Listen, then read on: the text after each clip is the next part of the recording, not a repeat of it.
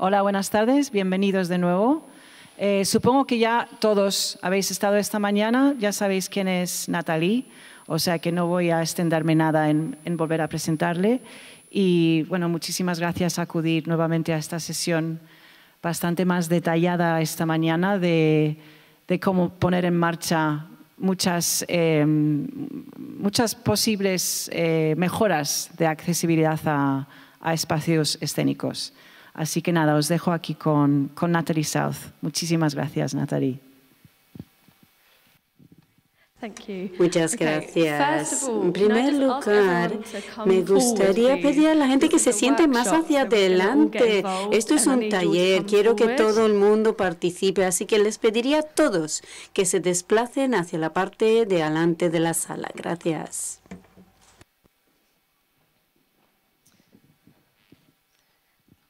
Thank you. Gracias, muchas gracias. Bueno, um, lo primero que quiero hacer para tener un poco una idea de quiénes están aquí en la sala, por ejemplo, vamos a empezar contigo. Te presentas, me dices tu um, nombre, de dónde vienes en el sentido de en qué trabajas, para yo tener un poco una idea de dónde venís y quiénes sois.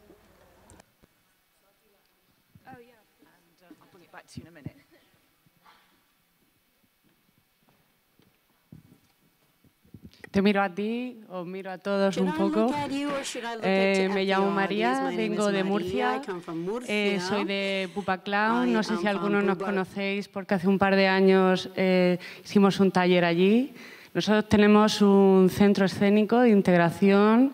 Venimos de Payasos de Hospital, que también tenemos el proyecto de la asociación y una compañía de teatro. Y nuestro teatro es accesible para las personas con todo tipo de diversidad. Y bueno, eh, me parecía bastante interesante venir aquí y escucharte cómo haces todo el proyecto de integración y un poco tu guía. Y muchas gracias y estoy muy contenta de estar aquí. Mi nombre es Rosa Colell, eh, trabajo en la Escuela Internacional CAO tanto en dirección artística del Festival CAO, que proviene de la escuela, como, eh, vale. como en la escuela que tiene varios proyectos. Eh, es una escuela preparatoria de circo el festival trata de mujeres y circo contemporáneo, aunque estamos incluyendo bastante más. Hay talleres de jóvenes eh, con peligro de exclusión social en zonas más deprimidas de la ciudad de Granada. Eh, estoy integrando muchas ideas eh, mezcladas. Luego, en la escuela, aparte de preparar a alumnos, Ah, también hay proyectos que son para, para también eh, proporcionar mediante las herramientas del circo eh, la inclusión social de, jóvenes que están en peligro de, no estar escolarizados o en falta. Hola, mi nombre es Claudio Pancera, eh, vengo de Buenos Aires. Mi trabajo consiste en eh, hacer investigación sobre proyectos que aplican la cultura para la transformación social, para el desarrollo social. Eh, y aparte de escribir libros sobre el tema, bueno, investigo también sobre este tipo de trabajos y organizo jornadas al respecto. Hemos publicado un libro recientemente de Teatro y Salud, donde la gente de Pupa Clown aportó gentilmente un estudio. Buenas tardes, soy Elvira Torregrosa del Conservatorio Superior de Danza de Alicante, docente, jefa de estudios y en estos momentos y aquí presente como miembro de un grupo de investigación de danza y diversidad. Eh, estamos inmersos en la intención de introducir, y ya es efecto, eh, un itinerario de danza inclusión, danza social, la danza y diversidad. Y eh, uno de los problemas que nos afectan en el centro realmente es la accesibilidad en estos momentos. Buenas tardes, mi nombre es Tamara Arroyo. Eh, también vengo del Conservatorio Superior de Danza de Alicante y como mis compañeras, eh, integrante del grupo de investigación Danza y Diversidad. y tenía una gran inquietud por acudir a este taller porque creo que lograr un acceso universal, en este caso a los estudios superiores de danza o a cualquier otro sitio, me parece algo que muy interesante y encantada de estar aquí. Buenas tardes, soy Teresa Neira, profesora de, danza española, de baile flamenco en el conservatorio, miembro del grupo de investigación con mis compañeras. Y estoy muy interesada en, esta temática en dos sentidos, la accesibilidad física a los espacios, pero también estamos inmersos desde el centro a, una futura accesibilidad a, estudios eh, reglados y superiores de, danza a todo tipo de personas. Entonces apostamos por esa idea e incluso intentamos cambiar el sistema desde dentro.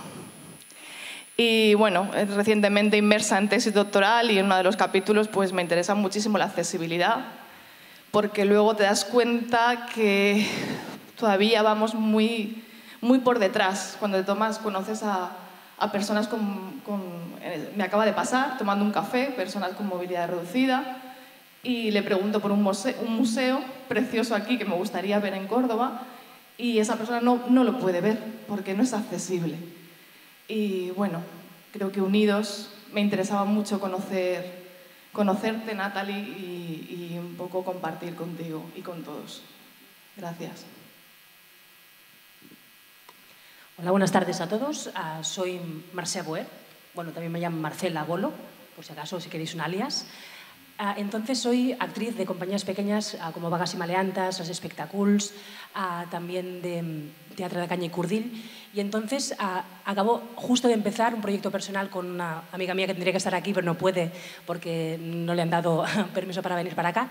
Y entonces estamos con la teatrería que estamos intentando activar en el barrio el teatro, desde gente profesional, activarlo en el barrio.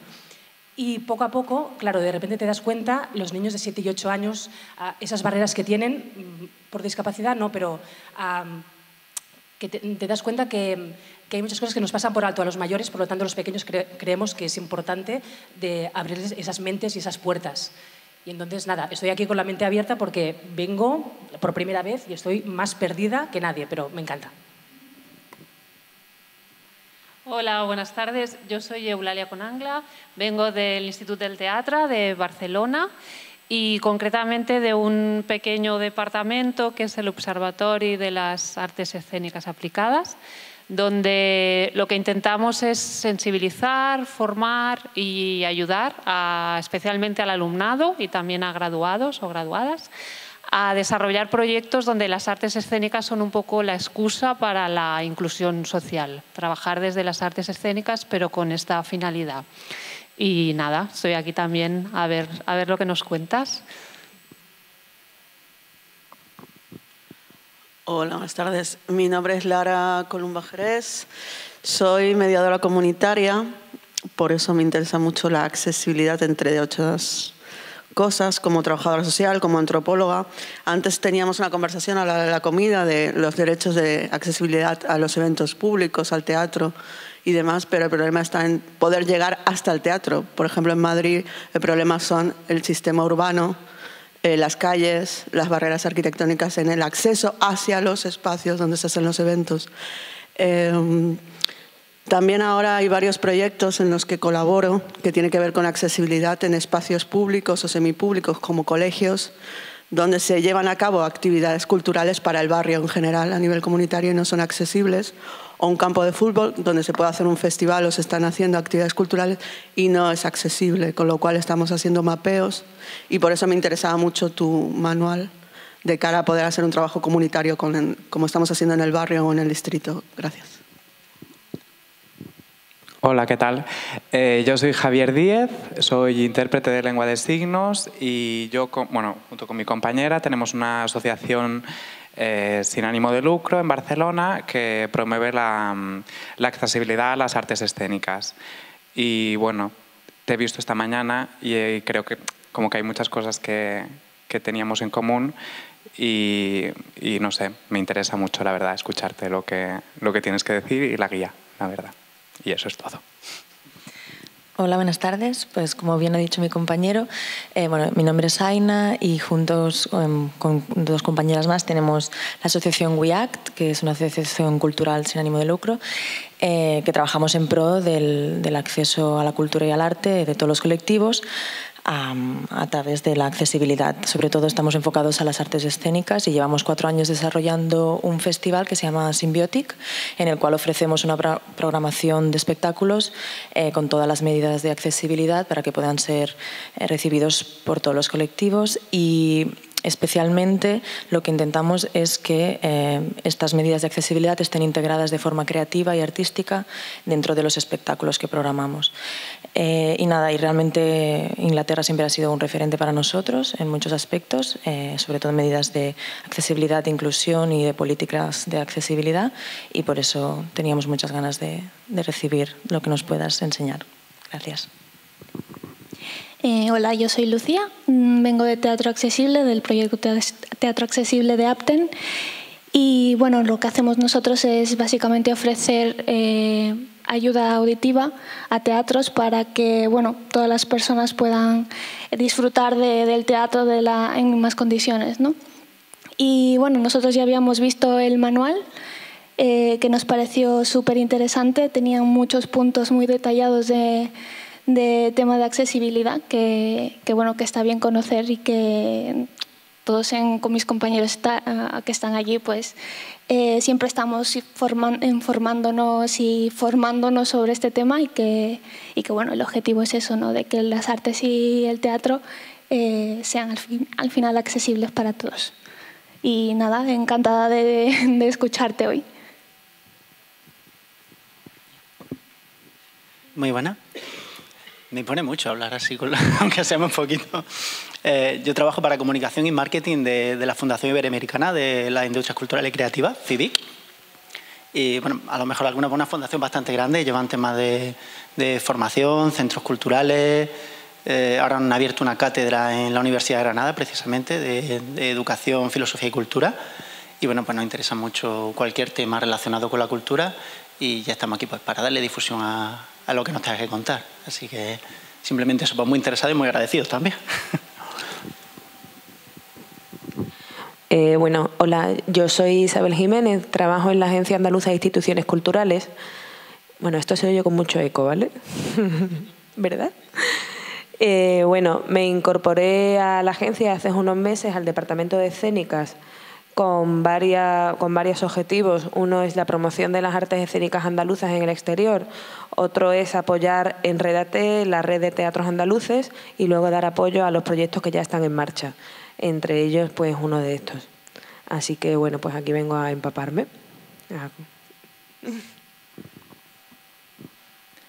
Hi everyone. Mi nombre es Emma Ganderman, soy de Finlandia. Soy una estudiante para ser profesora de eh, danza. Estoy ahora en el Conservatorio Superior de Alicante y es por ello que he tenido la oportunidad de estar aquí hoy con ustedes. Hola. Eh, me llamo Silvia Martínez, trabajo en la Universidad Jaume I de Castellón en el Servicio de Actividades Socioculturales, que somos los que nos encargamos de la programación artística del teatro de allá, que es el Paraninf. Y he venido aquí básicamente a aprender todo lo que se puede incorporar a nuestro teatro, a nuestra programación artística sobre accesibilidad, porque creo que es imperativo que los equipamientos públicos faciliten el, acceso a, cualquier persona que pueda tener el, interés y la inquietud de, acceder a la cultura.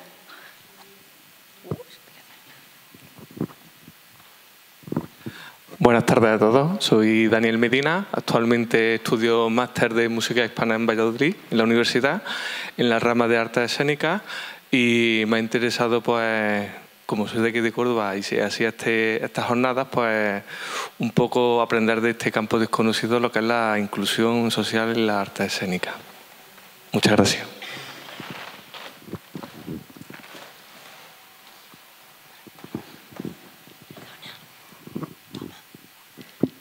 Hola, buenas tardes. Yo me llamo Marilo Puerta y trabajo en la Escuela Superior de Arte Dramático de Córdoba y bueno, pues dentro de esta institución hay un grupo sobre todo de profesorado muy interesado en el tema de inclusión y en el tema de hacer los estudios superiores cada vez más accesibles.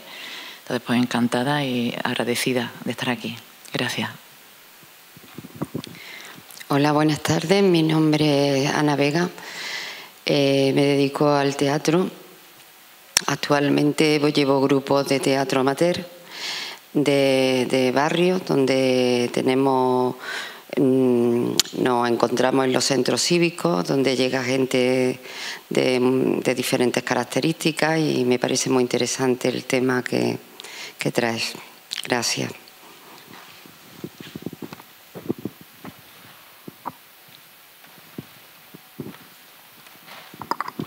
Hola, buenas tardes.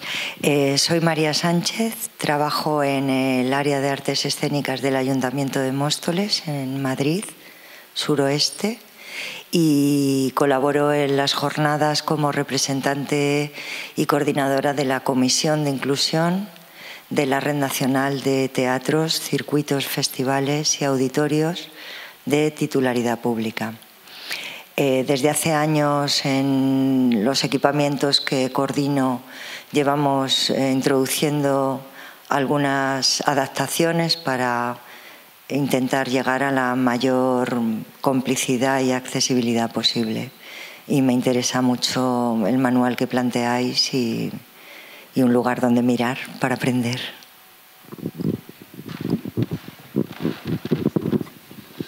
Eh, buenas tardes, yo soy, mi nombre es Lorenzo Echegoyen, yo vengo de Navarra. Yo trabajo como, como, gestor cultural, como programador en un ayuntamiento del sur de Navarra, pero estoy aquí en representación de la red de teatros de Navarra, que está formada por 33 ayuntamientos de toda la comunidad foral.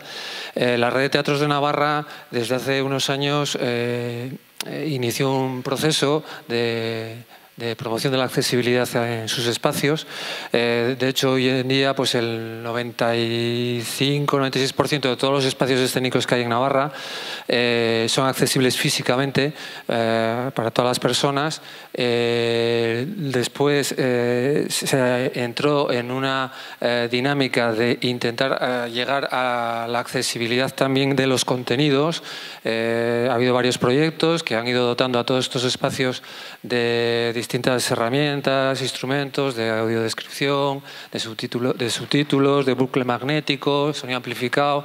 desde la red de teatros intentamos ir más allá, intentamos eh, también conseguir pues, promover entre los profesionales de las artes escénicas que sus eh, espectáculos también piensen en estas personas que no son visibles ni en el escenario ni como público, que piensen también en ellos a la hora de hacer las obras. Por eso también les estamos proponiendo pues, proyectos, incluso les estamos eh, destinando ayudas para que eh, sus obras ya cuenten desde el principio, desde el minuto uno, con, un guion para audiodescripción, para, para subtitulado y, y, otras iniciativas.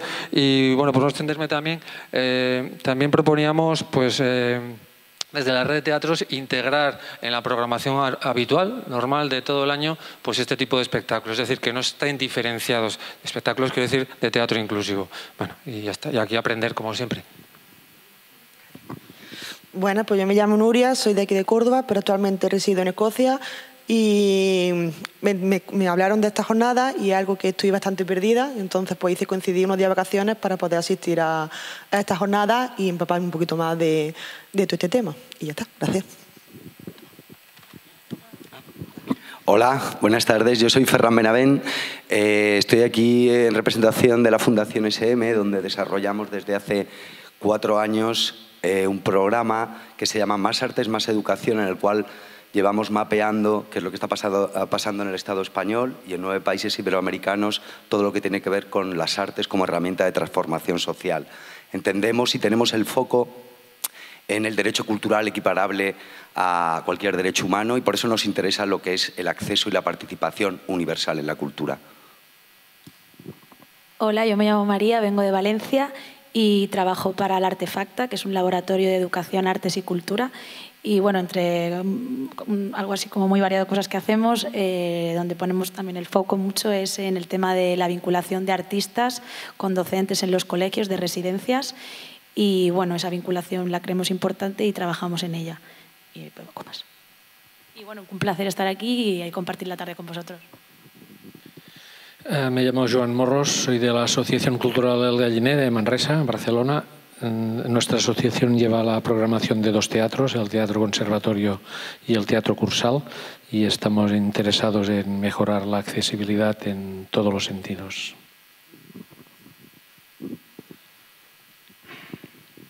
Hola, buenas tardes. Mi nombre es Ana Torres. Eh, yo trabajo en el servicio educativo del Ayuntamiento de Córdoba. Eh, formo parte de un equipo de técnicos eh, en el que bueno, pues planteamos propuestas educativas para los centros de enseñanza de Córdoba y entre, entre los diferentes ámbitos a los que nos dedicamos, yo concretamente me dedico a la programación de espectáculos para los centros de enseñanza. Entonces, eh, trabajo conjuntamente con el, con el IMAE, con el Gran Teatro, para la programación de, propuestas, de espectáculos, eh, tanto de teatro, música, para los centros de Córdoba. Entonces me interesa eh, aplicar siempre la perspectiva a todos los espectáculos que programamos, siempre la perspectiva educadora a estos espectáculos, garantizando siempre que esos espectáculos pues, sean lo más inclusivos posible y, bueno, pues me interesa todas las propuestas que, vengan en este sentido para enriquecer las propuestas y, que, bueno, que los espectáculos pues sean cada vez más accesibles para todo el mundo. ¿no? Muchas gracias. Hola, buenas tardes. Yo me llamo Javier de Dios, soy el director del Centro de Documentación Teatral del INAEM, que tiene su sede en Madrid, aunque es una institución de ámbito nacional y, eh, como sabréis, es la, institución que se encarga de recibir, eh, catalogar y eh, después mm, devolver a la sociedad, poner a disposición de la sociedad, la memoria, realmente la memoria, todos los documentos que constituyen la memoria del teatro y del circo español.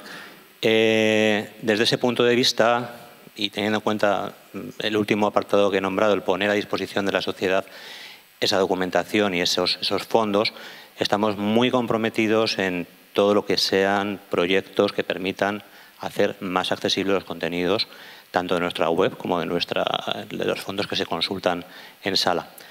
Eso desde el punto de vista institucional, desde el punto de vista personal, durante 28 años he sido profesor de artes escénicas en, enseñanza secundaria, en entornos precisamente no muy favorecidos de la Comunidad de Madrid.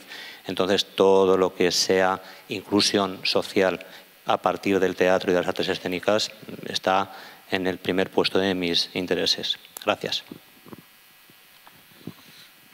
Buenas tardes. Soy Emilio Armengo, responsable de distribución del teatro, eh, teatro Accesible, cuya principal misión es acercar las artes escénicas a las personas que tienen problemas de comunicación, sobre todo en el área sensorial.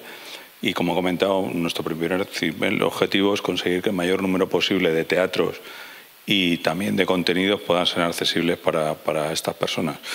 Empezamos en el 2011, hemos, vamos creciendo y la verdad que cada vez eh, el tema funciona mejor, pero todavía hay mucho, mucho, bastante que hacer y estoy aquí porque nos interesa, a mí me interesa a nivel personal, a nivel profesional, pues tus experiencias y lo que nos puedas, nos puedas comentar, que seguro que será muy útil.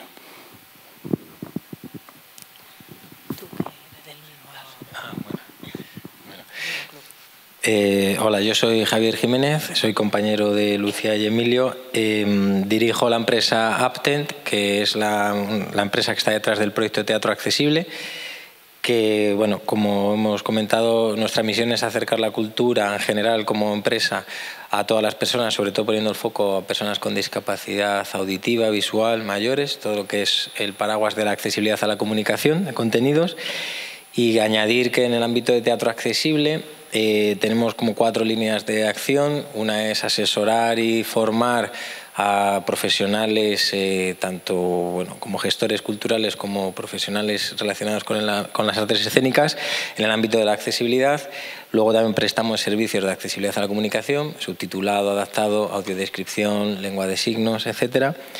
Eh, distribuimos y hacemos mucho hincapié en que los teatros se equipen con equipos de ayuda auditiva para, pues véase, sistemas de bucle magnético individual, sistemas de sonido amplificado individuales y en, última instancia, eh, con este convencimiento y con esta misión de querer hacer que todos los teatros sean accesibles, hemos puesto a disposición de, todo digamos, el, sector la herramienta tecnológica que nosotros utilizamos, que es Startit, para que cualquier compañía o sala pues, pueda fácilmente crear subtítulos, sobretítulos en diferentes idiomas, pensado en, eh, sobre todo sobretítulos adaptados a personas sordas, también para hacer audiodescripción y sincronizarla en directo.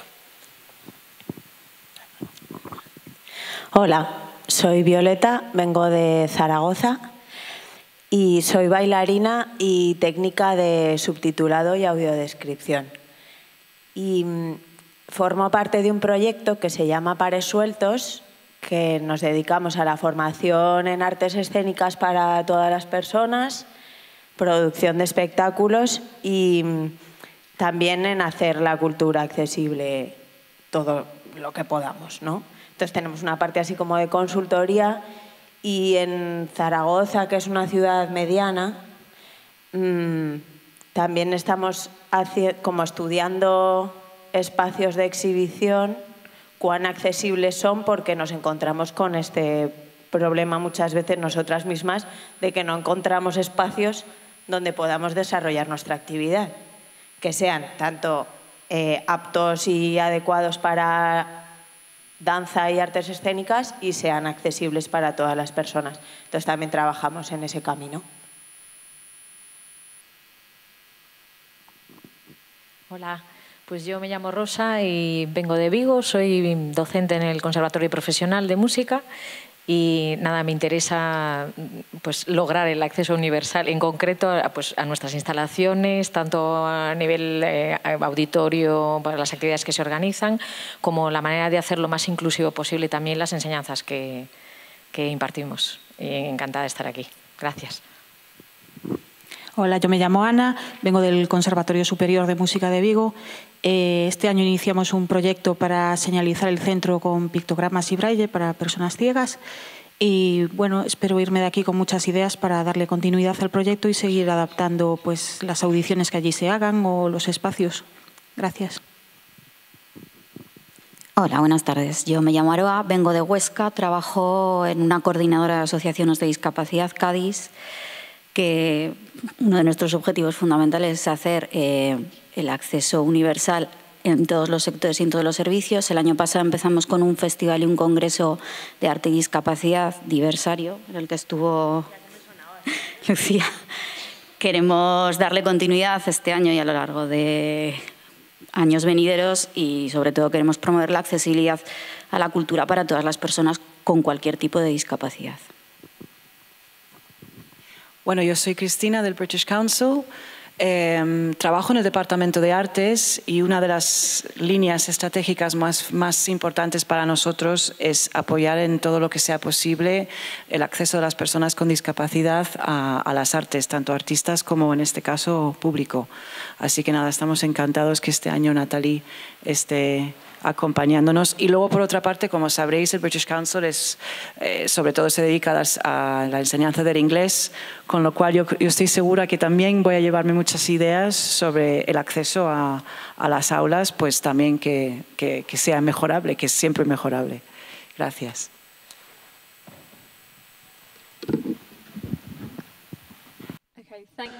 Muy bien, muchas gracias a todos por las presentaciones. Debo apuntar que realmente me han animado muchísimo. Me ha gustado mucho que me han ofrecido muchos detalles y espero que más tarde, cuando realicemos el trabajo en grupo, todos tendrán algo que contribuir. Estoy acostumbrado a trabajar en el Reino Unido y normalmente las personas cuando se le pide que se presenten solo dan su nombre y dicen, hola, yo soy Natalie. Entonces, muchas gracias por toda la información. Esto me ofrece una idea de quiénes son y qué hacen. Y también esto ha servido para todos los demás. Lo que sí me gustaría hacer ahora es hablar... Bueno, espero que todos estuvieron esta mañana y escucharon lo que yo expliqué acerca de mi organización, Attitude is Everything, quiénes somos y qué hacemos. Y voy a centrarme casi exclusivamente en conciertos musicales. En conciertos tengo mucha experiencia organizando conciertos accesibles a través de un evento que llamamos Club Attitude, actitud de club. Es una serie de eventos que organizamos todos los años se conoce como Club Attitude y básicamente son conciertos. Invitamos a personas con ah, dificultades o discapacidad auditiva o visual para participar en los conciertos. Y lo que me gustaría hacer es empezar a mostrarles fotos de conciertos que hemos realizado en el pasado y contarles un poco acerca de cada imagen. Ah, las diapositivas están, se están pasando solas. A ver. Madre mía. A ver cómo funciona esto. Mm, esto me estaba confundiendo mucho, se pasaban las diapositivas solas. Bueno, estos son unos pósters que hemos realizado para este evento. Bueno, sigue funcionando solo. Por favor, un momento mientras que resolvemos el problema técnico.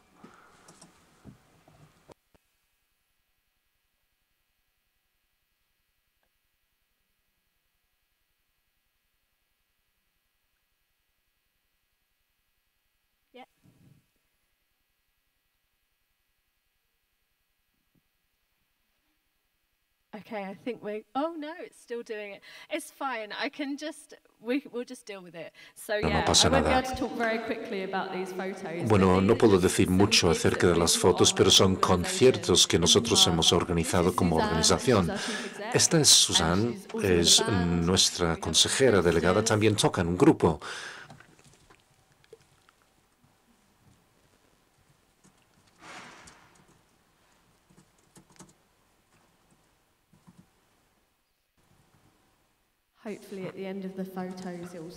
Bueno, espero que espero que pare al final.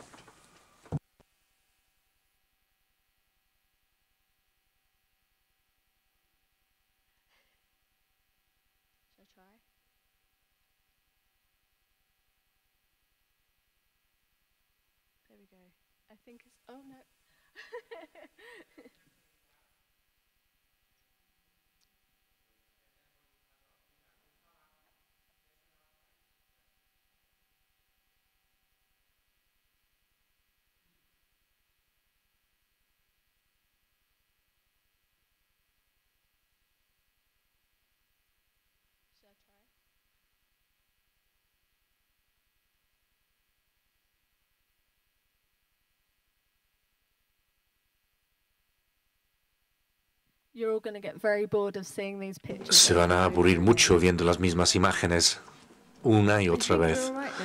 Me parece que ya se ha arreglado. Bueno, a ver cómo vamos. Um, bueno, básicamente es para darles una idea del tipo de evento que organizamos. Um, Esto era un um, proyecto paralelo que organizamos para organizar estos eventos accesibles en, en salas comunitarias. Y como ha dicho Cristina, grassroots o de base no es una frase que se suele utilizar en España, entiendo. Básicamente son salas en pubs ingleses, son lugares muy pequeños, salas muy pequeñas, muy chicas, que no tienen fondos, no tienen recursos, ni instalaciones apropiadas. Y voy a ir pasando, bueno, habrán visto estas imágenes, estas imágenes ya. Este es el grupo Mystery Jets en 2006, fue hace tiempo ya. Esta es Suzanne, que es nuestra consejera delegada. También toca en grupo. Aquí vemos unos pósters de los eventos que hemos organizado. Bueno, ahí no se ve muy bien. Hayden Spenceley.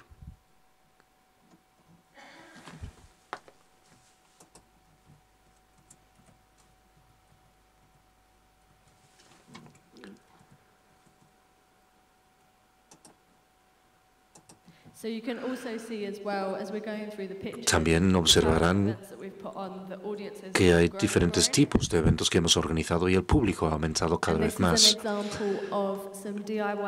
Este es un ejemplo de, por ejemplo, uh, unos señales que nosotros organizamos nosotros mismos. Es como un enfoque hágalo usted mismo. DIY en inglés. Básicamente en 2017 nosotros organizamos el Insight Weekend. Este es el póster. Lo hicimos en colaboración con Constant Flux y también DIY Space, que es una sala um, que nosotros, con la cual nosotros colaboramos. El evento contó con charlas de artistas uh, uh, con discapacidad, talleres sobre uh, un enfoque tipo bricolaje donde podemos poner en práctica estas ideas.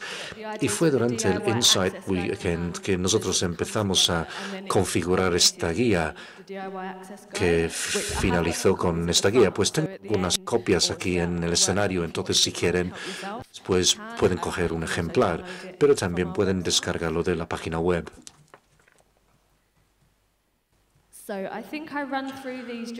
Bueno, mencioné estos puntos en mi presentación esta mañana, pero lo que sí me gustaría es volver a mencionar estos puntos.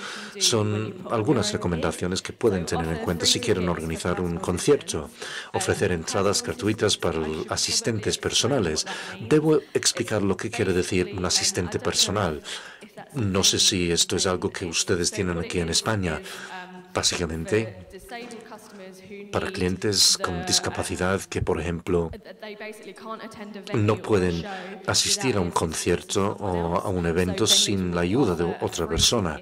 Por lo tanto, las salas ofrecen una entrada gratuita para el asistente o el ayudante personal. Esto puede, puede ser para ayudarles a entrar en la sala, etcétera, etcétera. También proporcionar información clara acerca de los accesos o los puntos de entrada y acceso en línea en Internet por adelantado.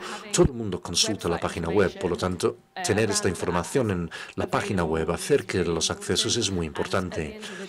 Al final y al cabo, si, por ejemplo, los servicios son accesibles, hay que informar al público, porque esto podría em, determinar si una persona decida ir o no a un concierto. Si esta información no aparece en la página web, pues no lo van a saber. Invitar a las personas a ponerse en contacto con el organizador si tienen cualquier tipo de petición específica. La idea es establecer un diálogo para que se establezca una conversación y no deben temer hablar con las personas. También configurar un lugar donde pueden ver fácilmente accesible. Um, obviamente no utilizar luces estroboscópicas y informar a la gente y proporcionar subtítulos. Básicamente se trata de un portátil, un proyector o incluso un televisor. Es muy fácil hacerlo y mostrar estos subtítulos. Si hay baños accesibles, pues es importante que funcione bien, porque no hay nada peor que los baños no funcionen o estén estropeados o, están, o los están utilizando como un almacén. También ofrecer una habitación tranquila si alguien lo necesita y también fomentar la denuncia de cualquier forma de acoso o abuso y también asegurar que el servicio de bar sea accesible para las personas.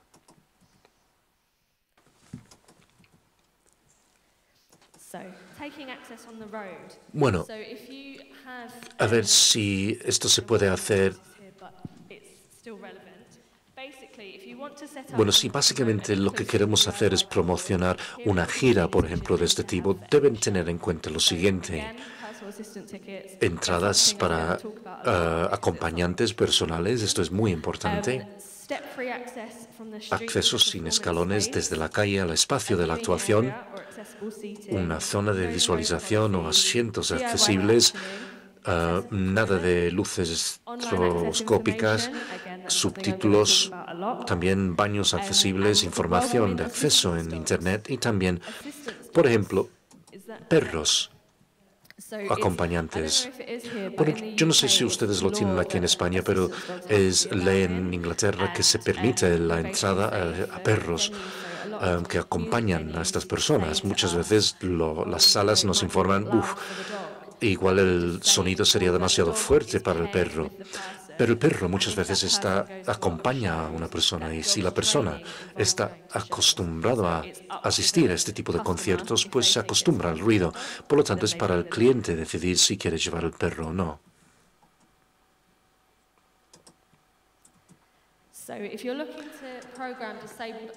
Si buscan reservar artistas con discapacidad para sus eventos, pueden hacer lo siguiente, utilizar salas que ofrecen acceso sin escalones al escenario o una configuración sin este tipo de escalones en otro lugar.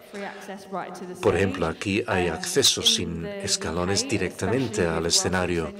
En el Reino Unido, en salas pequeñas, muchas veces no es el caso, por lo tanto hay que pensar fuera de la caja y buscar otro tipo de soluciones innovadoras. Un ejemplo aquí sería, por ejemplo, si no hubiera acceso, se podría programar que se hiciera el evento ahí abajo y en vez del escenario. Es simplemente buscar soluciones para cada sala, para cada instalación. Y también reservar grupos diferentes para personas diversas, permitir o tener suficiente tiempo para realizar pruebas de sonido y también estar preparado para contestar a preguntas y diferentes formas de comunicación. Invitar a los grupos a hablar acerca de sus requisitos de acceso y asegurar que los empleados entiendan cuáles son sus necesidades y también proporcionar una declaración sobre accesos en la página web para que el público sepa lo que pueden esperar en cada evento.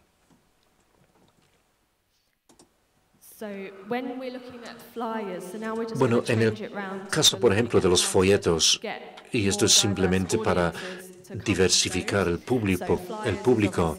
Obviamente los folletos son importantes. Estos pueden ser también pósters, cualquier tipo de publicidad y anuncios pero no se deberían suponer imágenes con texto. Hay que utilizar la fuente de texto de mayor tamaño posible y que el texto ofrezca un alto contraste con el fondo. Habrán visto que todas las presentaciones en Attitude for Everything tienen un fondo amarillo con texto en negrita, en negro. Esto es lo más fácil. O también pueden tener un, un fondo o viceversa, un fondo negro o oscuro con letras en amarillo y viceversa. También deben utilizar fuentes sans serif, es decir, Arial en este caso, y también incluir información de acceso básica para el concierto. Por ejemplo, información sobre aseos accesibles, etcétera, o aseos sin escalones. Y lo que me gustaría hacer ahora es ofrecerles un ejemplo de un folleto mal hecho. Bueno, como pueden ver, el texto está superpuesto sobre la imagen, es difícil de leer. Llevo dos años trabajando en Attitude is Everything y suelo utilizar este ejemplo muchísimo y sigo sin entender lo que quieren decir. El tamaño de la fuente es bastante pequeño. De hecho, el color del texto varía muchísimo. Pero el contraste también es erróneo. La fuente tampoco se puede leer, no se puede leer en absoluto el texto. Y de hecho hay pocos detalles en el folleto y tampoco hay información sobre accesos. Y si hay información sobre accesibilidad, pues yo soy incapaz de leerlo. Y por supuesto, nuestro póster es un ejemplo de cómo se debería hacer. Las imágenes están al lado del texto en vez de superpuestas. Y también hemos utilizado una fuente de mayores dimensiones. Es un poco difícil leer el pequeño texto al final porque hay mucha información en el póster, pero esto es lo que queremos hacer. Queremos utilizar la mayor fuente posible y a la vez incluir más información o tanta información como sea posible. Ahí pone acceso sin escalones, unos aseos accesibles y también un, un enlace a DIY London, donde pueden encontrar información sobre su declaración sobre accesibilidad. También hay un fuerte contraste con el fondo utilizando fuentes claros y también información básica acerca de la accesibilidad. Bueno, ya les avisé que iba a hablar mucho sobre el Internet e información en Internet. Pues la página web sobre el evento o sobre las salas o si quieren programar algún tipo de espectáculo, cualquier lugar donde realizan publicidad y quieren mencionar la accesibilidad, pues pueden incluir lo siguiente, una dirección de correo electrónico de contacto para invitar a las personas a mandar preguntas. Hay acceso sin escalones al espacio donde se realiza el evento, pues lo que se puede poner es no hay paso libre o sin escalones. O, por ejemplo, poner que el evento es en la planta alta, pero no hay ascensor. Si hay escalones o una escalera está bien, pero hay que indicar cuántos escalones tiene la escalera. Un ejemplo, es posible que alguien pueda gestionar 20 escalones, pero 30 sería demasiado. Si hay 15 escalones para llegar al edificio, hay que mencionarlo y decir que hay 15 escalones. Bueno, si hay escalera, esto no quiere decir que el edificio sea accesible. Desconozco el porcentaje en España, pero en España las personas que utilizan sillas de ruedas corresponden a un 3% del número de personas con discapacidad en el país en su totalidad y es un porcentaje muy pequeño. Cuando pensemos en la discapacidad, las personas piensan en las personas que utilizan eh, sillas de ruedas debido a los logotipos y los señales que aparecen, por ejemplo, en los aparcamientos. Pero el porcentaje es tan pequeño que hay que tenerlo en cuenta y también incluir otro tipo de dificultades y discapacidades. Es importante que las personas tengan una vista sentada del escenario.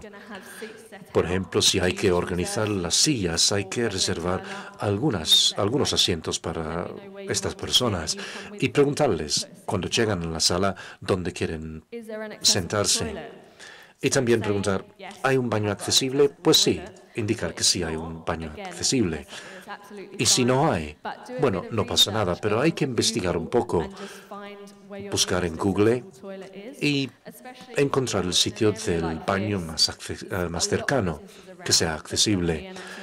Y tiene que haber algunos aseos accesibles cerca. Entonces, es simplemente una cuestión de decir no, no hay unos aseos accesibles, pero hay unos en el pub al lado. Es simplemente un ejemplo. Y pueden solicitar entradas para los acompañantes, pues explicar cuál es el proceso para solicitar las entradas para los acompañantes y si hay cualquier característica que sería importante destacar. Por ejemplo, si hay luces estroboscópicas, pues informarles. Se trata simplemente de iniciar estas conversaciones y hablar con sus clientes.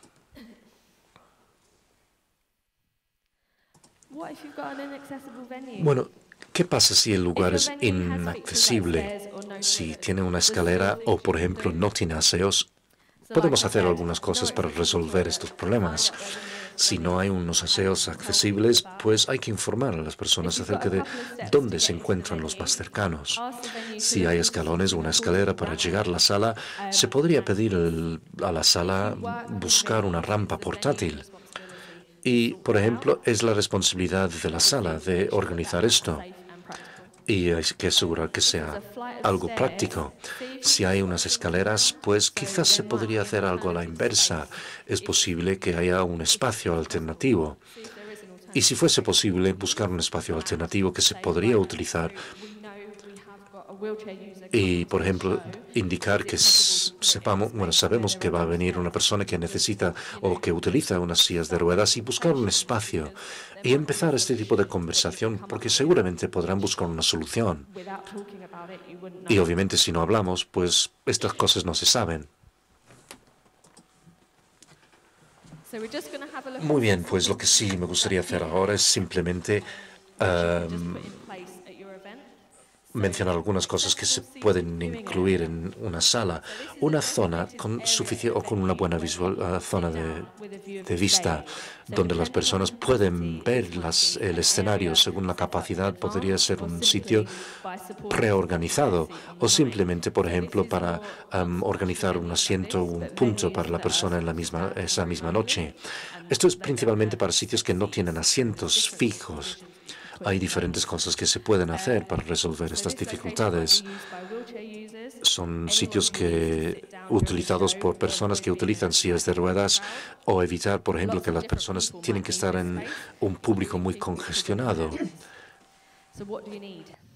Así que, ¿qué necesitamos? Pues unas pues, sillas y una zona con vistas al escenario.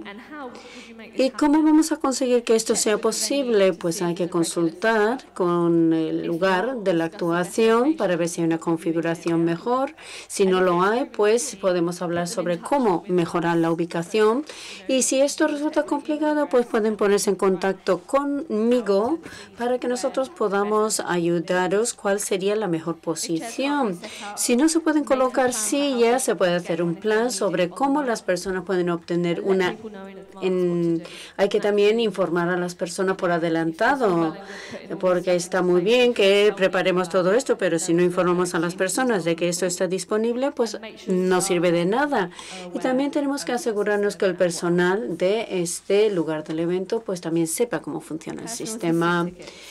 Las entradas para los asistentes personales, ya hemos hablado sobre este tema, pues es un billete, una entrada gratuita que eh, disponible para cada persona discapacitada con discapacidad que eh, le puede para que les puedan ayudar. ¿Y por qué hacemos esto? Pues porque la necesidad que una persona puede tener de un asistente personal puede variar considerablemente, puede ser desde viajar y moverse hasta comunicarse, tomar decisiones o tomar medicamentos o usar el cuarto de baño. El, ¿Y cómo se solicita esto? Pues tenemos que permitir que estas personas puedan tener estas eh, entradas para los asistentes. ¿Y cómo conseguimos que ocurra? Pues podemos utilizar una asignación por lista. También podemos invitar a las personas que pues, se pongan en contacto con nosotros directamente para que puedan realizar la solicitud. También hay distintos tipos de beneficios. Hay, por ejemplo, en algunas lugares de eh, celebración de los espectáculos, pues a lo mejor piden que uno demuestre que tiene algún tipo de discapacidad. No sé si eso funciona en España o no. Es así como se hace en Gran Bretaña. Sí, sí, bueno, hay una tarjeta que uno debe, con el que demuestras que realmente tienes algún tipo de discapacidad, pero resulta bastante menos embarazoso para todos y simplemente se fía uno de esa persona. Cuando alguien dice que necesitan una entrada para su asistente personal, pues mejor confiar en que eso realmente es así y no eh, pedirles esa tarjeta. Y también hay que decirle a las personas con antelación que la gente sepan que, bueno, pueden solicitar una entrada para el asistente personal si quieren. subtitulación para algunas de las entradas, pues, ¿de qué hablamos? Pues de subtítulos en algunos conciertos. Esto puede ayudar a las personas que tienen algún tipo de discapacidad auditiva. También sería un nuevo, una nueva experiencia para los asistentes que se necesita un ordenador portátil, algún tipo de programa de diapositiva como PowerPoint, un monitor y también una lista y las letras de las canciones. Hay que informar a las bandas que vamos a colocar los subtítulos. Lo que podemos pedir es a la banda para que creen una especie de diapositivas para donde aparezcan las letras. Todos sabemos que las bandas tocan, eh, los grupos musicales tocan pues canciones en un orden concreto, por lo tanto lo pueden hacer fácilmente y también el nombre del grupo y el nombre de la canción en cada diapositiva o al principio de las diapositivas. También se puede hacer una presentación maestra, se puede incluir algunos anuncios. Temas interesantes, necesitamos alguna persona que vaya pasando las diapositivas a medida que las canciones son tocadas. Y también tenemos que otra vez dejar que la gente sepa que vamos a ofrecer este tipo de sub títulos porque si no realmente no lo van a poder aprovechar. El cuarto tiene que ver con el espacio tranquilo. Es un espacio alejado del espacio del concierto principal para que la gente pueda tener un sitio donde no haya ruido ni multitudes. Esto puede ayudar enormemente a personas con ciertos tipos de discapacidades de aprendizaje, autismo, ansiedad y estas personas pueden tener una necesidad de un lugar tranquilo que está separado del concierto. Cuanto más silencioso mejor, pero depende de lo que haya disponible. También debería de haber un cartel que explique para qué sirve la habitación, también asientos y también se podrían añadir algunas cosas como pues una luz tenue, algunos libros. Hay que hablar siempre con el lugar del concierto para ver si hay una habitación disponible que sea la adecuada. También hay que prepararlo para que esté disponible. Tiene que ser disponible desde el primer momento y nuevamente hay que publicitar que esa habitación está disponible si lo necesitasen. Muy um, bien. No he tenido una, no he contado cuántas personas hay en la sala, pero que todo el mundo se divida en grupos de um, cinco. Y quiero que todos ustedes piensen en lo que he dicho hasta el momento, tanto en la presentación de la mañana como en este taller. Quiero que habléis entre vosotros y habléis de cómo podéis hacer que los conciertos o los eventos que vosotros organizáis puedan ser accesibles, de manera que cuando volvamos a trabajar ya como grupo completo, pues podamos hablar sobre algunos de los temas que vosotros hayáis discutido uh, entre vosotros. Así que si os podéis dividir en grupos sería genial. Media hora. Vamos a um, daros media hora. Transcurrido ese media hora, pues ya veremos si necesitáis más tiempo o no. Así que dividiros en grupos, grupos de cinco.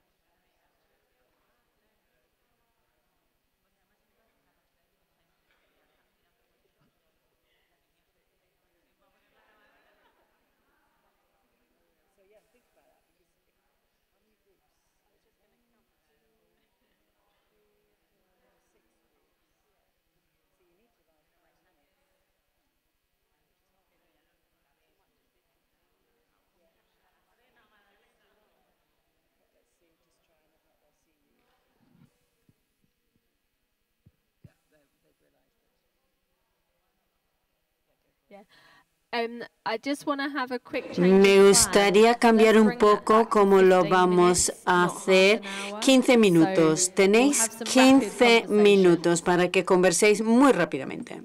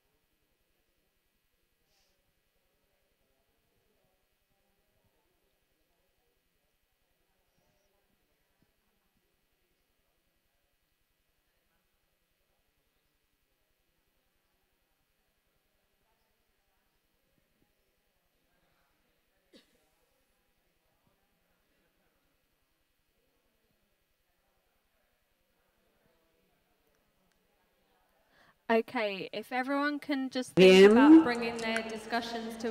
quizás podamos ya concluir las discusiones.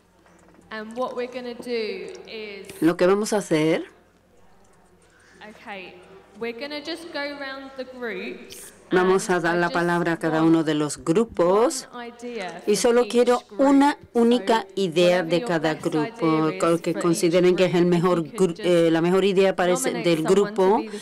Pueden eh, nombrar a alguien para que sea mm, el portavoz o la portavoz y que comparta la idea con el resto del grupo, porque es bueno compartir este tipo de ideas, porque quizás a alguien se le ha ocurrido algo que a uno no se le ha ocurrido Vamos a empezar con este lado de la sala.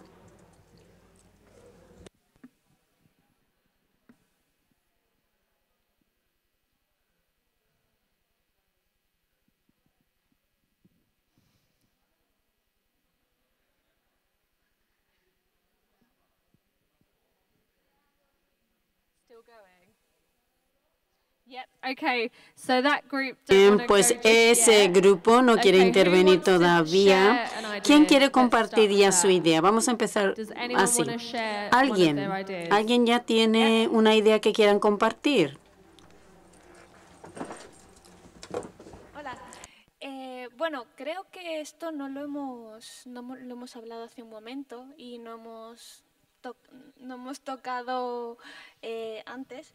Pero creo que, bueno, oí hablar también de un caso de, Inglaterra, de crear fichas, o sea, fichas de, mm, informativas para, hacer más fácil eh, el acceder a, pues, a un evento, a un espacio arquitectónico concreto, eh, sobre todo para personas con autismo, ¿no? que tienen que tener como una preparación previa a, bueno, a todo lo que van a ver, a todo lo que se van a encontrar y creo que esto no lo habíamos hablado antes, pero también es un recurso interesante también que trabajar en cada espacio, creo. Thank Muchas gracias. ¿Algún otro grupo quiere compartir?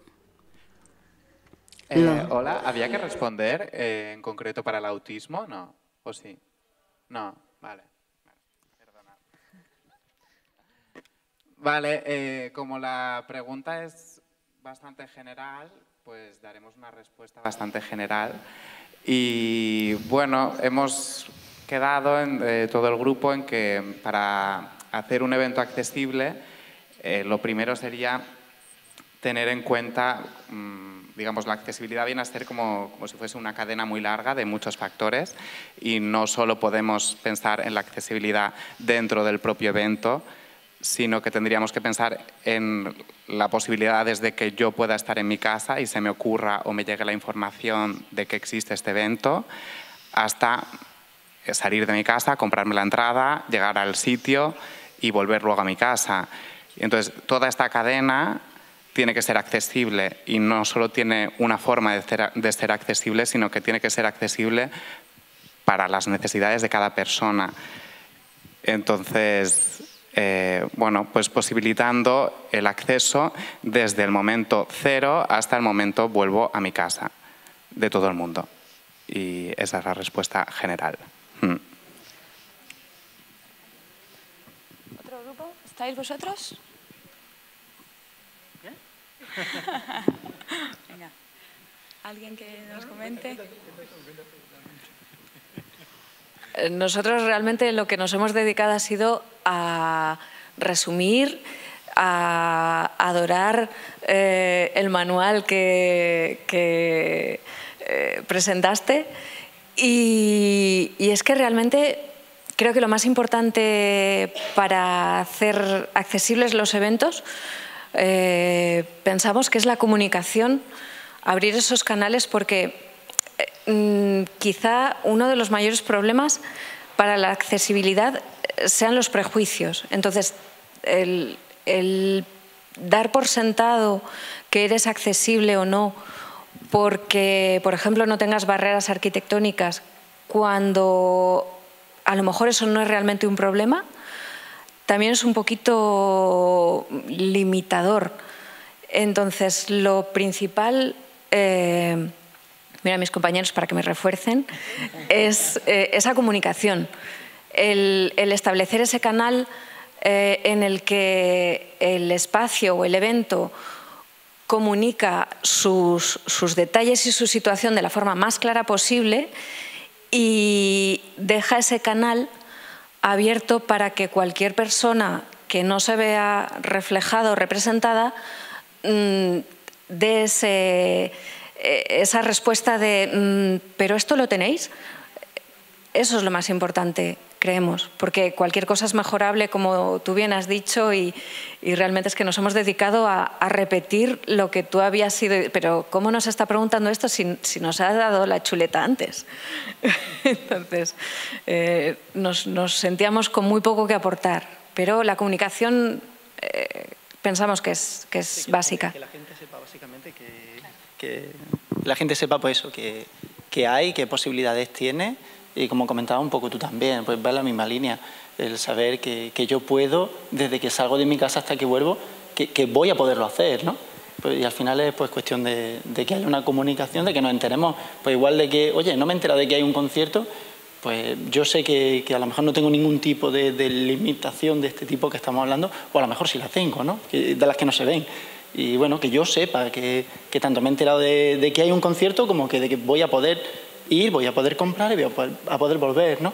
Entonces, pues sí, puede ser una cuestión de, comunicación en muchas ocasiones y de que yo pueda incluso decir o acceder a, esa posibilidad de, que me escuchen, oye, pues, perdón, que, yo necesito pues, ir acompañado de alguien o necesito ir con mi perro a lo mejor, ¿no? Y que alguien, podérselo decir a alguien que, que me escuche y que se reaccione a eso, ¿no? Entonces, bueno, pues, Ale. Gracias. Por aquí, Javi. Venga, va, gracias. Me animo ahí. Eh, pues em, nosotras hemos estado viendo, por un lado han salido varias ideas. Eh, intentando responder la pregunta un poco que nos hemos ido por las ramas, pero como que el primer punto de partida es la formación, casual y un poco el tema, no tanto las herramientas, sino que nos damos cuenta que al final el querer hacerlo, conseguir cambiar la actitud de los profesionales, que a veces ocurre, que hay cosas que no se hacen por, por pura voluntad o, de, o a lo mejor siendo benévolos por eh, no ser conscientes de ciertas cosas. ¿no? Eso por un lado. Eh, luego, por otro lado, pues también eh, en parte de esa formación ese, o ese, ese cambio de actitud es reconocer que la accesibilidad es muy útil para todos, no solo para las personas que en un principio está destinada y que puede servir para mucho. Han salido casos aquí de cosas que ya se hacen, se han diseñado o se han empezado a utilizar para unas usuarias, pero se ha empezado a utilizar para, para todos, en el caso del Conservatorio de Música. Y en tercer lugar, y me corregís y tal, eh, la comunicación ha salido también como un tema muy importante, tanto por un lado porque ocurre que hay veces que sí que se están haciendo cosas de accesibilidad y no se comunican. En el caso de otra vez del Conservatorio de Música salía que se hacen medidas de accesibilidad, pero que se, que, bueno, se podrían poner en valor y comunicar que se vienen haciendo, no solo hacerlo ad hoc a una... A mí me sale un poco como tratar de sistematizar y poner en valor las medidas que se hacen para generalizarlas y que se extiendan y que se den a conocer.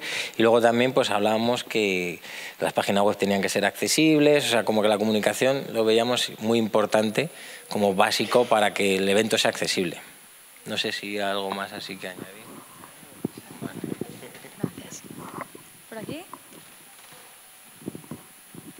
Nosotros hemos hecho una lista.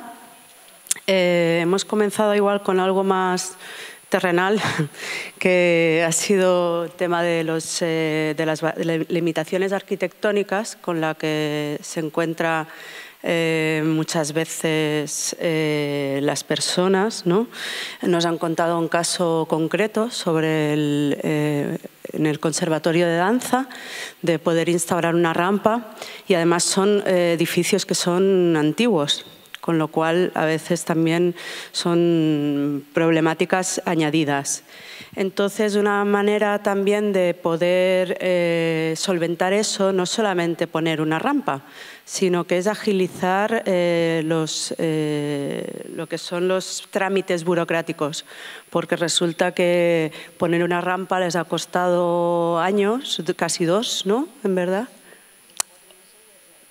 la decisión, pero que ya llevaba de hacía tiempo, pero además no han terminado en nada, sino que lo han pagado ellos y lo han puesto ellos mismos. O sea, que ya no es una cuestión solamente arquitectónica, sino que también política. Eh, luego, eh, bueno, sí hemos hablado del marco legal, ¿no? de que son políticas, que viene ahora un poquito a, colación. Y también eh, hemos hablado de, la escucha, ¿no? de, que haya una escucha sobre lo que la sociedad civil propone, ideas, porque a veces eh, la gente misma puede dar buenas opiniones y buenas ideas. También eh, ha comentado hacer un mapeo de espacios, espacios municipales y detectar cuáles son accesibles y no accesibles, porque si somos gestores o gestoras eh, podemos también seleccionar qué espacio nos conviene mejor eh, o cambiar también, o sea, no solamente cambiar los que nos funcionan y seleccionar los que sí que funcionan. Por otro lado, también hemos, hemos pensado en en la parte un poco más eh, filosófica, que los organizadores eh, vivan de primera mano lo que significa eh, ir a un evento y no tener las mismas eh, disposiciones que cualquier otra persona.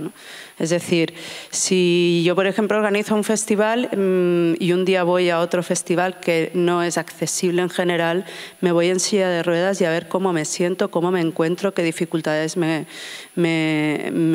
vivo para poder yo también tomar nota y así con otros, con, tanto con audiodescripciones como con cualquier otro tipo de disfunción, discapacidad.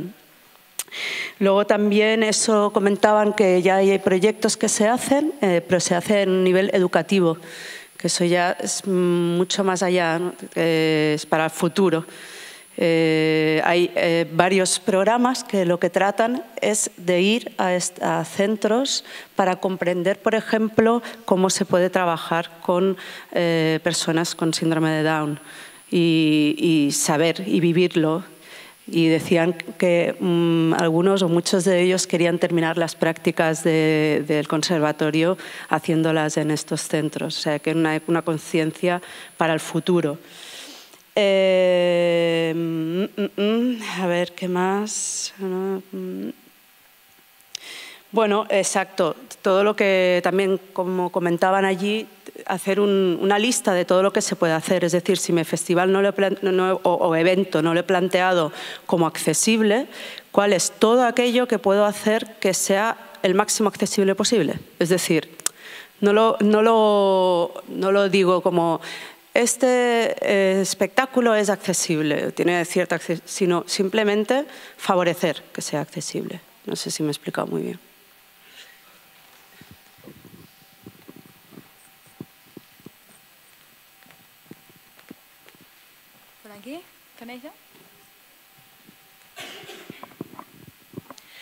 Bueno, nosotros hemos reflexionado un poco sobre mm, los contenidos del evento en sí, ya sea festival o sea jornada, em, de la línea de programación, es decir, em, que, que, también sea lo más paritaria, lo más que los contenidos que programemos puedan ser recibidos por el máximo público posible y sean lo más eh, accesibles para que todo el mundo pueda disfrutarlos. Es decir, por ejemplo, si hago un festival de artes escénicas, pues intentar que si programo cuatro espectáculos, quizás dos, eh, si me apetece que mi línea de programación incluya mm, espectáculos de teatro físico, de circo, que es algo mucho más visual, eh, ser consciente de que las personas de baja visión o personas mm, ciegas o con problemas de visión, puede que por mucho que haya una audiodescripción bien diseñada, realmente estos contenidos cueste que los disfruten de una forma creativa y artística porque, bueno, pues por mucho que ese audio escriba, realmente es, no llega eh, igual, ¿no? Entonces, yo programo pues, dos espectáculos más físicos, después tener en cuenta también de programar eh, dos obras de texto o quizás con música, que es más enriquecedora, eh, no tanto para las personas quizás con baja, baja audición, pero sí para las personas Em, ciegas o con baja visión. Y tener un poco de paridad también en los contenidos. Y yo, bueno, personalmente estoy muy de acuerdo con lo que ha dicho este grupo, que creo que la base de todo es la educación en todos los sentidos y en, todos los los agentes que conforman eh, pues la, industria cultural y la industria artística, ¿no? que desde los técnicos de teatros hasta los programadores, em, de sensibilizar y de, y de, y de, educar y de integrar, para que integren eh, pues la accesibilidad y la, y la inclusión en, en, sus espacios, en sus eventos y en, en, en la industria en general.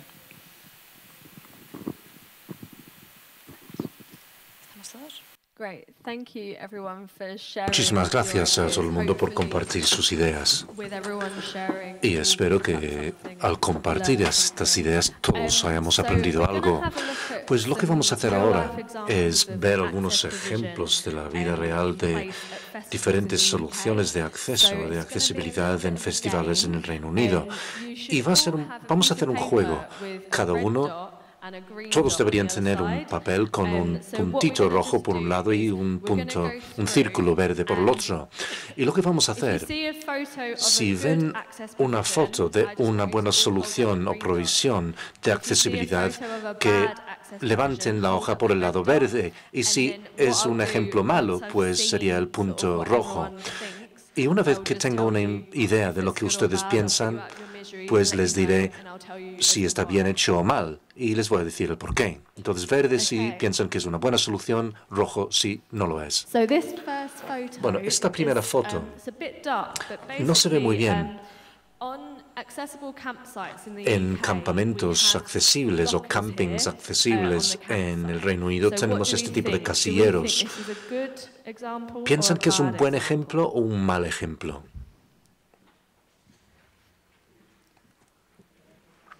¿Bueno o malo? Muy interesante. Por favor, que miren por la sala a ver lo que han, han decidido sus compañeros. Bueno, nosotros pensamos que es un buen ejemplo y varios motivos por esto. Obviamente hay una rampa. Hay una rampa para acceder a los casilleros. Además, hay unos asientos por fuera por lo tanto, si alguien tiene unos amigos que están utilizando los casilleros y quieren sentarse, pues pueden utilizar estas sillas. La foto es um, bastante oscura, pero los casilleros están alrededor del borde del contenedor y dentro hay mucho espacio. Por lo tanto, como ejemplo, en el caso de alguien que utiliza una silla de ruedas que quiera acceder a los casilleros, puede hacerlo y moverse con facilidad.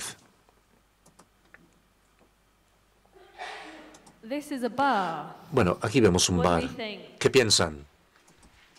¿Bueno o malo? Muy bien. Excelente. Todos han dicho que es una mala solución. Pues hay una escalera, unos escalones, pero no hay rampa. Y de nuevo, la imagen es muy oscura, pero no hay, no hay una zona de la barra que tiene una altura más, más baja. Y esta es una bueno, esta instalación es mala, obviamente. Bueno, aquí vemos otro bar. ¿Qué piensan? ¿Bueno o malo?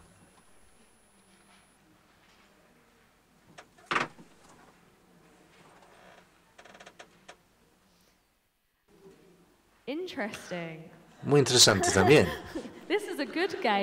A mí me gusta este juego. Bueno, es una buena solución. Y voy a explicar el por qué. Aquí vemos un bar que es más baja. ¿Ustedes han visto este tipo de bar antes? Este tipo de bar que es, tiene una altura más baja. Bueno, ¿hay alguien en España visto este tipo de bar? De barra. Sí, lo han visto, ¿no? Bueno, esto básicamente es un punto de servicio accesible. El bar principal se encuentra um, aquí. para los clientes sin discapacidad, pero en el caso de personas con discapacidad pueden ponerse aquí y recibir el servicio en igual de condiciones. Entonces no solo se ofrece una barra ah, con una altura más baja, sino también vemos está bien señalizado. Y esto es algo que pueden buscar nuestros clientes y así saben que hay algo para ellos y pueden investigarlo. Uh, Bueno, ahora, una taquilla, es una taquilla temporal. Eso es muy mala. De nuevo, un escalón para llegar a la taquilla. No hay rampa. Pero tampoco hay una ventanilla más baja. Entonces, como no hay rampa, pues obviamente no hay una ventanilla más, más baja, no hay una taquilla más baja.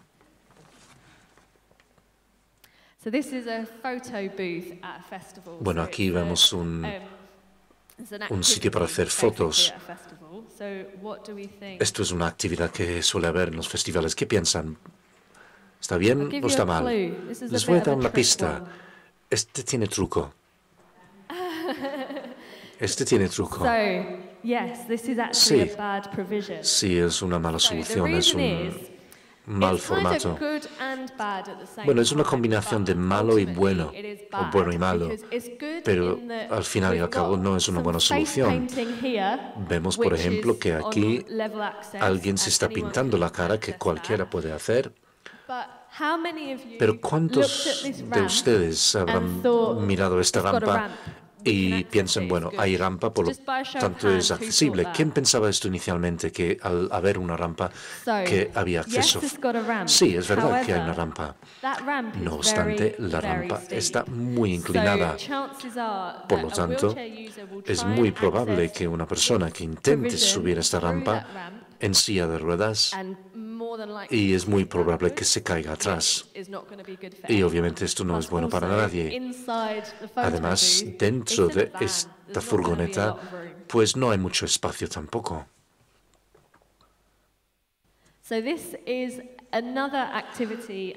Otra actividad en un um, festival. El objetivo es conseguir zumo de coco. ¿Qué piensan? Sí, no está bien hecho.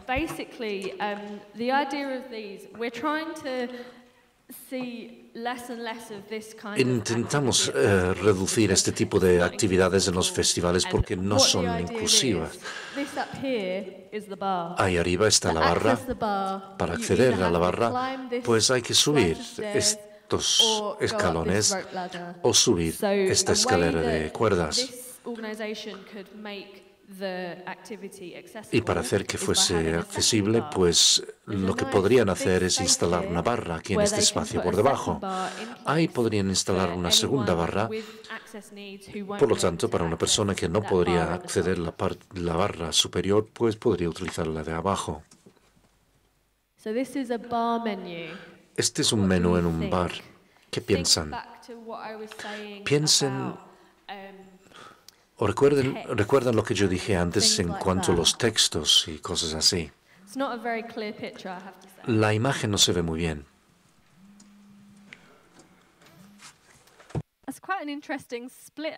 Bueno, um, las respuestas son bastante repartidas. Bueno, este es un menú, el texto es de gran tamaño. Y como he dicho antes, no se ve muy bien la imagen, pero es un menú que aparece en la barra misma. La fuente es de gran tamaño y utilizamos las técnicas que expliqué antes. No hay imágenes superpuestas ni tampoco textos superpuestos sobre imágenes.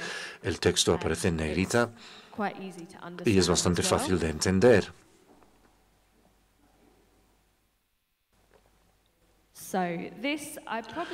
Bueno, seguramente tengo que explicar esto antes. No sé si ustedes lo llaman igual aquí, pero nosotros los llamamos, eh, um, eh, digamos, cariles o colas tipo Disney.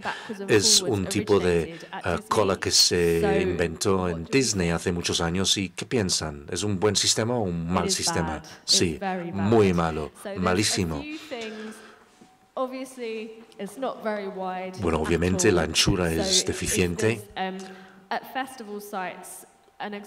en los festivales un ejemplo que afecta a los usuarios de sillas de ruedas, pues normalmente organizan zonas más robustas y obviamente aquí una persona en silla de ruedas no puede pasar por, por aquí.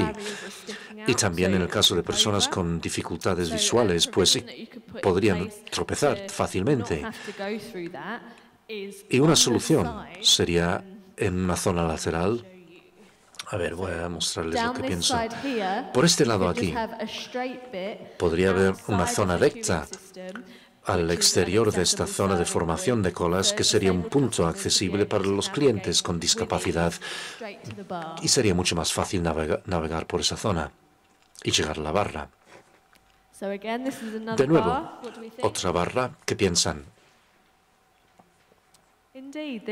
Eso es, es una buena solución. De nuevo, tenemos la barra bajada la señalización. Igual no se ve muy bien por aquí, pero ven aquí los menús con uh, eh, texto o fuente de, eh, de, gran tamaño, pues pueden utilizar estos menús aquí en la barra bajada. Esta es una rampa, un escenario. Este es para los artistas. ¿Qué piensan? Es para acceder a un escenario. Exacto. Bueno, había dicho que es una rampa que llega al escenario, entonces era fácil de, um, de adivinar. Pero si pensemos en la rampa que accedía a la furgoneta donde la gente se hacía fotos, aquí vemos que no está muy inclinada.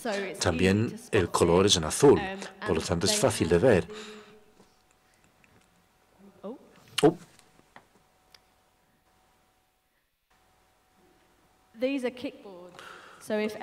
Bueno, aquí estos son paneles.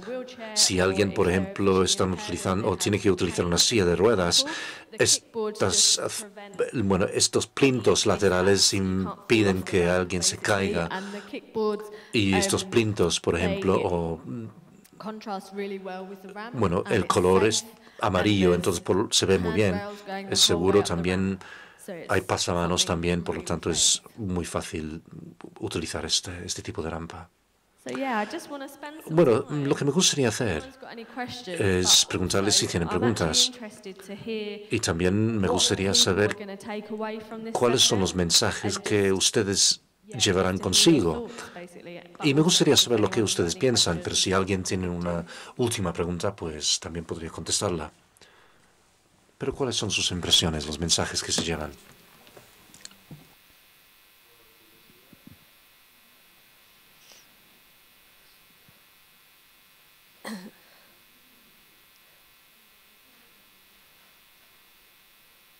Me oyen ahora, perdón, vale. Eh, no, por curiosidad, como vosotras habéis trabajado mucho el tema de conciertos y demás, comentar, por ejemplo, aquí recientemente, yo por lo menos lo he conocido hace poco, el Ayuntamiento de Madrid, por ejemplo, ha empezado a hacer uso de unas mochilas vibradoras especialmente pensadas para que personas sordas o con discapacidad auditiva puedan sentir las vibraciones y es como muy útil, yo creo, para conciertos y demás. Entonces la pregunta va si conocías este sistema y también como nosotros venimos un poco, o nos gusta aplicar la tecnología a la accesibilidad, si aparte de estas medidas low cost, por así decirlo, si qué otras medidas o herramientas, incluso más tecnológicas, eh, utilizáis o recomendáis en los eh, conciertos. Véase pues estas mochilas, eh, sistemas de ayudas auditivas, bucles magnéticos perimetrales, que obviamente son costosas, pero que bueno, igualmente creo que habría que implementarlas. Um, pues muchas gracias. Bueno, una cosa que se me ocurre es lo siguiente. Uh, Asistí a un evento donde empleaban la tecnología en cierta medida. Básicamente era un concierto um, dirigido a personas con discapacidad auditiva, con personas sordas había un escenario con grupos y también, em, por ejemplo, un monitor con el texto, pero también hubo una pista de baile que vibraba. Y en el medio de, digamos, del auditorio hubo una zona elevada. Y cuando el grupo estaba tocando, al estar elevada esta zona, las vibraciones ayudaban, por ejemplo, a las personas sordas a sentir la música mucho más y conocer, digamos, los ritmos. Estuve hablando antes con Cristina anoche acerca de este evento donde tenía esta pista de baile que vibraba y tenían también un DJ, un DJ que trabajaba mucho con los olores, con las sensaciones. Obviamente los las personas sordas no pueden escuchar la música y tienen que utilizar sus otros sentidos. Y este DJ básicamente creaba olores para complementar estas canciones. Y, por ejemplo, cuando ponían las canciones, pues hubo diferentes olores. No es algo tecnológico, pero es una solución, algo que se me ocurre. Es como una idea, pensando fuera de la caja. Y quizás esto sería algo que podría recomendar.